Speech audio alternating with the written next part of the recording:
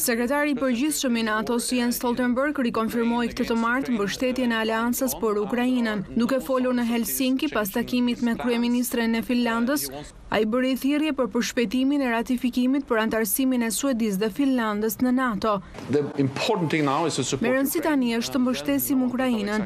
Askush nuk e di me siguri se kur do të mbarojë lufta, por kur të mbarojë ne duhet të sigurohemi që historia të mos përsëritet, që Presidenti Putin të mos ketë mundësi të sulmojë fqinjët. Prandaj duhet të forcojmë aftësitë ushtarake të Ukrainës, por njëherësh të ndërtojmë një strukturë të tillë që siguron se Presidenti Putin nuk do të sulmojë dot më përsëri Ukrainën.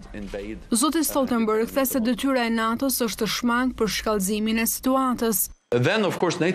NATO ka edhe një detyrë tjetër, të shmangë përshkallëzimin e situatës, të parandalojë që kjo të kthehet në një luftë mes Rusisë dhe NATO-s, tha ai.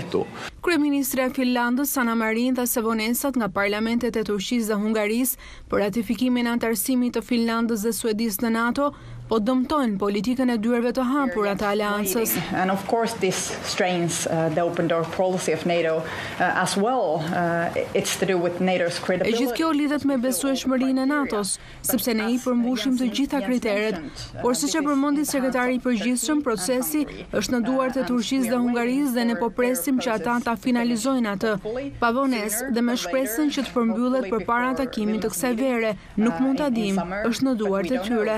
Suedia dhe Finlanda paraqitën vitin e kaluar kërkesën për t'u bashkuar me Aleancën Transatlantike, pasi Rusia filloi agresionin ndaj Ukrainës. Por që të bëhet anëtarësimi, duhet të ratifikohet nga tridhjetë anëtarët e NATO-s. Procesi i ratifikimit nga Hungaria është bllokuar në parlament që prej korrikut, Dhe kryeministri Viktor Orban ka shprehur shqetësime rreth anëtarësimit të Suedisë dhe Finlandës në NATO.